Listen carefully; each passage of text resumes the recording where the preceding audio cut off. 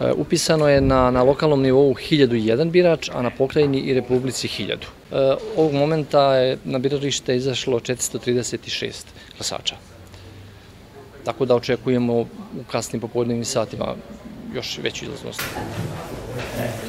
Na izbornom mestu 60 u mesnoj zajednici Dositova Bradovića upisano 1558 birača, od toga do 5 sati je izašlo 625 birača, što je prosek oko 40 procenata.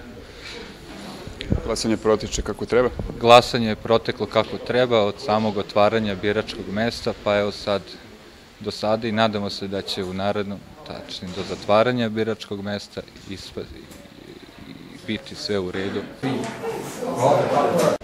Na biračkom mestu broj 58 ovaj, glasanje protiče u potpunom miru i redu i do sad od upisanih 1940 birača izašlo je do 17 sati 874 člana ili biračkog tela.